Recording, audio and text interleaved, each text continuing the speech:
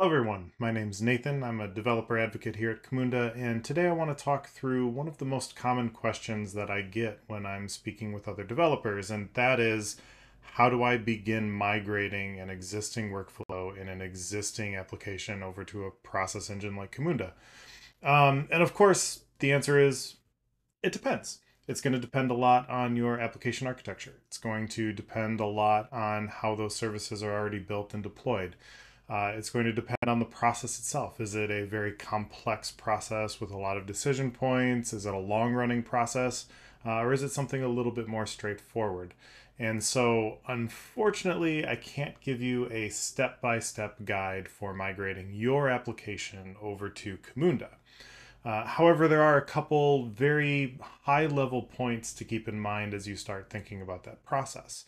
Uh, the first step you want to take is to actually open uh, a tool like Camunda Modeler and design your process using BPMN. Uh, you want to make sure that that process is built out end to end so that you can see every step along the way. And that's going to provide a very helpful roadmap for the development teams to figure out where they need to build those integration points, how that communication between the process and the application are going to happen. Uh, without having that process already built as a BPMN model, it's very difficult to move forward. Uh, the second step is now that you have that model built, you're going to begin integrating it. Maybe that's a combination of job workers and out of the box connectors from Camunda, maybe using the REST connector and maybe the Kafka connector. Um, or maybe you need to build a custom connector uh, to fulfill your needs. There's a lot of flexibility there. There's a lot of options. It's a full open API, and you can bring any language that you need to connect with Camunda. Uh, but that's the next step to begin that integration. And then the third step, of course, is to test it. Go ahead and deploy that process to some sort of test or staging environment. Run through it, make sure that everything's working as expected uh, before you deploy it to production. That's a very important step. And as I said, those are really high level. The, in, in one way, those seem quite obvious steps to take when you're planning a migration process. Um, but in another way, you know, maybe it's something that somebody hasn't thought about. So it's a, so it's good to say them out loud. Um, but back to that original question, it doesn't really answer that question. So what I've done is I've written the blog post that you see on your screen right here, and I have some code to go along with it. And this is meant to be an exercise for developers. This shouldn't take more than a couple hours. Uh, think of it as uh, doing a workshop at a conference, perhaps. And what the goal of this is, is to present you with an application that has a workflow already inside of it that functions within an application using the CQRS pattern. And what we're going to do is migrate that out of that communication pattern and we're going to move that into Camunda. So first, let's take a quick look at that code. Um, you can find it here in GitHub if you go to the Camunda Community Hub slash DevRel Loan demo. Um, this is the application itself. Now, keep in mind that this is not an enterprise application. This is meant to mimic an enterprise application. Uh, and the enterprise application that it's mimicking is a loan origination service for a financial institution. So the idea here is that there's a form somewhere that uh, a loan applicant fills out, providing their you know first name, last name, address, uh, an amount for the loan, whether what what kind of loan it is, a home loan or an auto loan, etc. Uh, and then it moves through a series of steps within the application to try to approve or reject that particular loan. And uh, the way that it does that currently internally is it has a, an internal messaging system using the CQRS pattern, sort of mimicking, say, how microservices might communicate with each other. But the other thing it exposes is a set of RESTful APIs. Uh, and I've provided both a Bruno and a Postman collection here uh, for easy access to see what those API endpoints are and what the what the payloads are expected to be.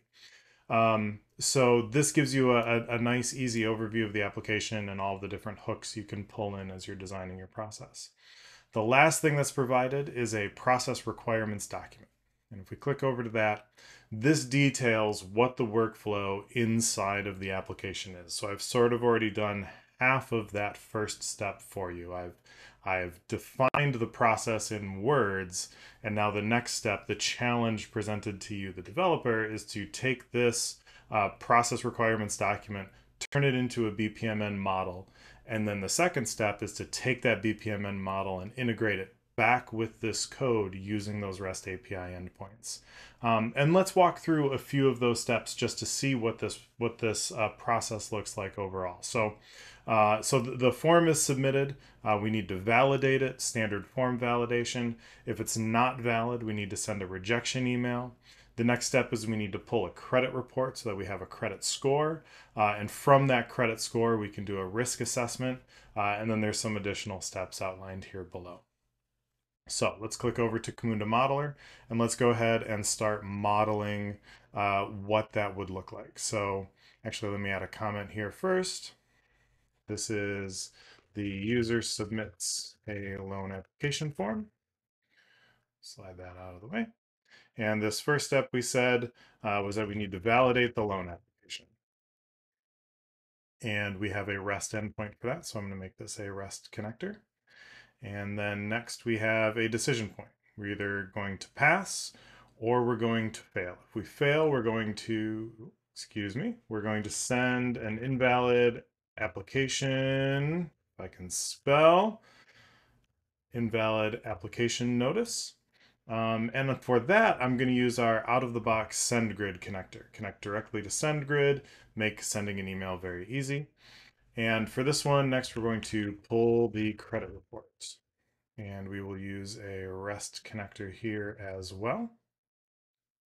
And on and on, we can continue to model this process. So going back to the process requirements, this is the first step, defining what that workflow is within your application, coming to Camunda Modeler and designing that process end to end.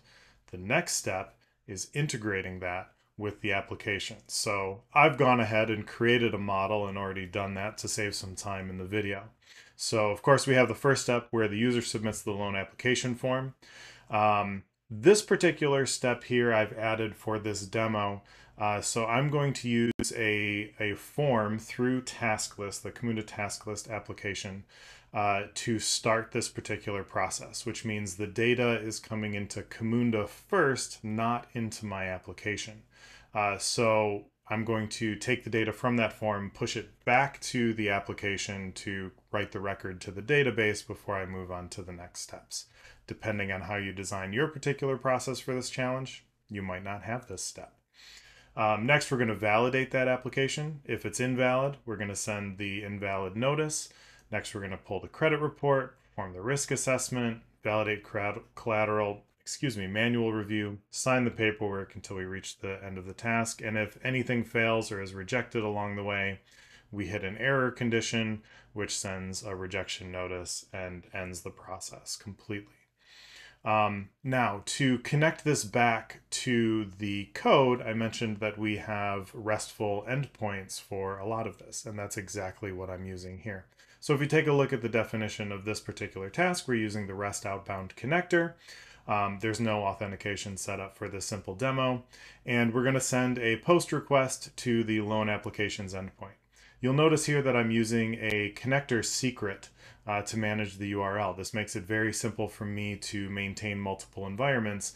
I mentioned that a critical step is going to a testing or a staging environment to validate your process before you go to production. And using secrets is a very easy way to switch that URL without having to come into the BPMN model and manually change that URL every single time. Um, down here we have the body that we're sending. Um, sorry, it was minimized. There it is. Uh, so we have, uh, these are the values that are coming out of the form, which I'll show you in a moment. We have uh, the given name, surname, address, city, state, postcode, uh, the loan amount, and the loan type. And then when we get that response back from the REST API, we're going to pull out the loan application ID and the ID of the loan applicant because we're going to need those for further steps. So looking ahead to the validate application step, again, we're using a REST outbound connector. I'm using the same secret to manage my URL. And uh, this time we have an ID in the URL, so I can use a feel expression to add that to my URL. So the final URL is going to be this demo URL slash API slash loan applications slash whatever the loan application ID is slash validate.